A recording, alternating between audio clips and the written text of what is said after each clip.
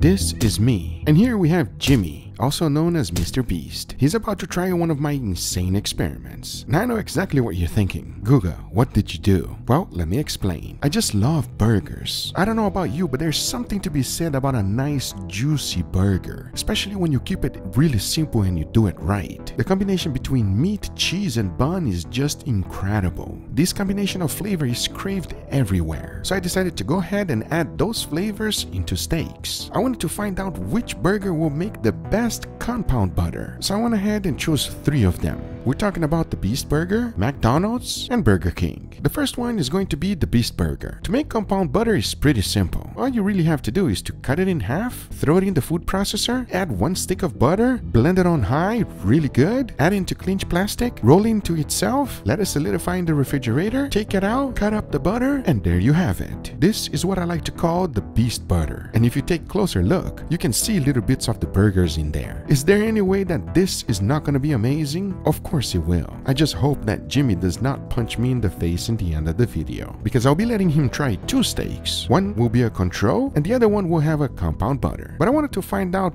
which one was gonna be best, so I went ahead and did the same exact thing with two other burgers. The first one was a McDonald's. Now here's the biggest difference with the Big Mac. It has lettuce, so I'm not quite sure if it's gonna be a good combination to go into a compound butter. But as you already know, the process is pretty simple. Once everything has been blended really fine, I just throw in some butter, mix it a little bit more, put it in clinch plastic, roll it, and let it solidify. Because I still got one more. And here's the Whopper from Burger King. Now this one is also very different. It has tomatoes. I'm not quite sure if a compound butter with tomato is going to be good, but we're going to find out which one is going to be better. Because the process is pretty similar. As in the end, once everything was completely done, this is what I was left with we have three beautiful compound butters ready to go. First is the Beast Burger, second the McDonald's, and lastly the Burger King. We need to find out which one is gonna taste best, and for that we need some steaks. As you can see, these are the ones I chose for today's cook. We got two New York strip and one ribeye. It has a good amount of marbling and it should be perfect for this experiment. I only seasoned them with salt followed by freshly ground black pepper and garlic powder, keeping it nice and simple so that we can taste those butter. Now I gotta be honest, not quite sure if it's gonna turn out fantastic. So I went ahead and decided to make a quick side dish. And this one, of course, it has steaks. We're talking about loaded fries. And to make it, it is super easy and here's how. The first thing to do is to cook up some steaks. As you can see, I'm using this beautiful skirt. One of the most important things we gotta do whenever we're cooking steak is to put a nice sear. And at the same time, doing everything possible not to overcook it. Since the steaks are really thin, the residual heat will carry over to cook it to medium rare, which is 125 degrees Fahrenheit. And don't forget, whenever you're cutting a skirt steak, if you want the best results,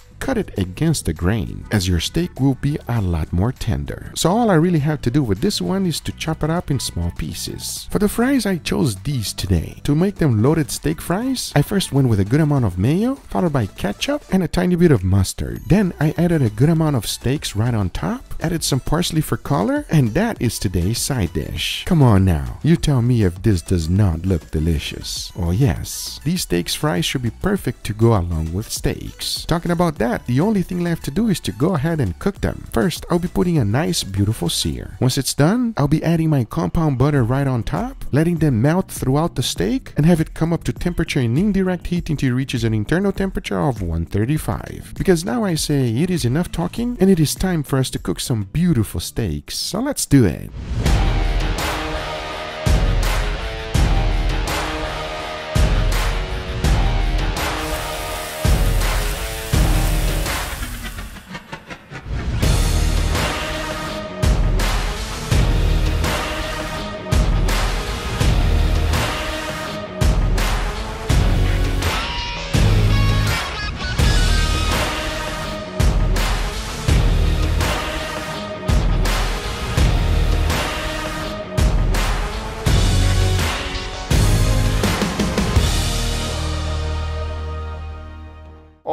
Right, everybody, here we got our beautiful steaks with a little side dish. You know, I'm gonna say it. These are beautiful steaks. Yes, they are. So, as you guys can see, I got a little crumbly crust. I want your honest opinion on this one, all right? Don't hold back. If it's good, if it's good. If it's bad, if it's bad. And obviously, you guys gonna see Jimmy try it really, really soon. Where do we start? Right here. Let's go. Dig in, please. Let's do it. Smells like, smells like heaven, everybody, huh? Whoa, that is a very different smell right there, guys. Well, we're gonna let you know right now how it tastes. Enough talking. Cheers, everybody. Cheers. Oh man, That is in- wow! It is so juicy, so tender, and that crust. chef's kiss. Very, very flavorful. Punches you right in the mouth. As soon as that butter hits your tongue, it's just an absolute wave of flavor and deliciousness. Yeah, this is a flavor bomb. My, my mouth is like, Really like this, everybody. I know it sounds weird when I make it, but it's good. With all that being said, I'm ready for the second one. Are you guys ready? Let's do it. Let's dig in, please. Make sure you get that grumbly crust. It's all about that. When the steak is dripping, twice. you know you did it right, everybody. I mean, come on. Let's give it a go right now. Cheers, everybody. cheers. Oh, that's so good. That's so delicious. Oh, wait, there's a flavor in there. Oh, he's trying to decide. All I know is that there's lettuce in here. He can taste the greens. There is a little bit of greens. No, I know, I could tell. Oh, you can? Damn, this boy don't like no green.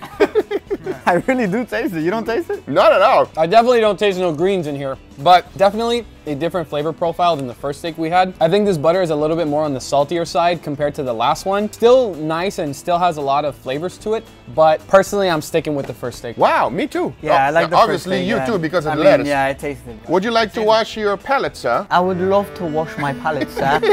Please. Please Yes. indulge in a few fries. Let's indulge. I have never used that word in my life. Let me know what you guys think. Yeah, let's see. Cheers, everybody. Cheers. Oh, come on. But you can't mess that up, bro. You cannot mess this one up, everybody. A little crunchy, a little savory, a little tangy mm-hmm. because of all the sauces, and that steak is totally unnecessary, but super delicious. Very required, Yeah, I would yeah. say. I want to say that steak is very, very tender because there's no resistance whatsoever. yeah. Can you guys guess the sauce? It just tastes like Mayo, what I would do in a school lunch. Just mix some mayo, mustard, ketchup around, and that's Yep. what it tastes like. That's exactly what it is. Very simple. My take on Jimmy loaded fries. If you want the recipe, Jimmy, well, you got it.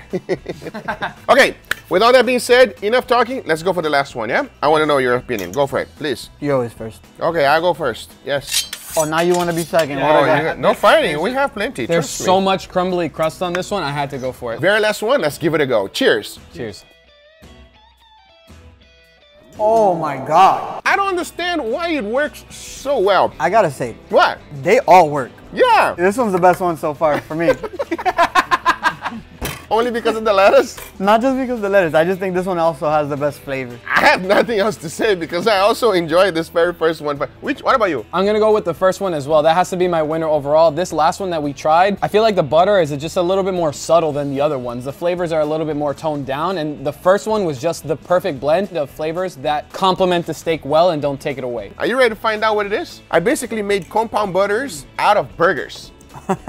All of them? All of them. So here's what we got. The very first one, I did it with the Beast Burger. The second one was with the Big Mac. Oh man. Yeah, that's why you taste that lettuce. There's lettuce in there. And then the very last one was with Burger King, which is the Whopper. Ah. and there's lettuce in there too. God, you're good. Strong palate, baby, strong. With all that being said, I think the only reason that we like this one here more is because there's no lettuce. Let's go! That's awesome. You guys don't like the greens either. You see? You see? No, I don't know. I think it feels like the flavor intensifies a little bit more because everything is very flavorful on this one here versus the other two. But I'll tell you one thing: the other two taste good, man. They're all good. With all that being said, I'm curious to find out. I'm gonna go over there, cook one for Jimmy, and I want to see what he thinks of it right now. For Jimmy to really try out a Guga experiment, I have to cook two steaks. I chose two Australian Wagyus, one a ribeye and the other one a New York strip. As you can see, they have great marbling. Now you gotta remember, I'm cooking this inside of Mr. Beast Burger's restaurant. And believe me, they don't have any seasoning. But hey, I brought my own. Just like I seasoned my previous steak, I went with SPG, salt, pepper, and garlic powder. And don't you forget about the Beast Butter. Unfortunately, in Mr. Beast Burger restaurant, there's no charcoal grill. My only option was to cook it on the griddle. So now I say it is enough talking and it is time to cook this beautiful steak, So let's do it.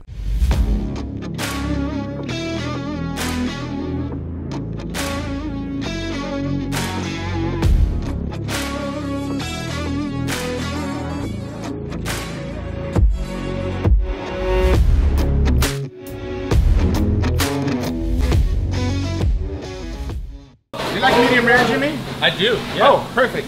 I got two steaks for you to try. Okay. This one is more regular, and then this one has a little something special on the top. Okay. I want to know if you can tell the difference and which one you like better. Here, I'll close my eyes. Hand me one. Okay. All right. That's you. That tastes like the regular. Pretty juicy. Very good. Let's go for the next one. There you go. Okay. All right, Jimmy, let me know now.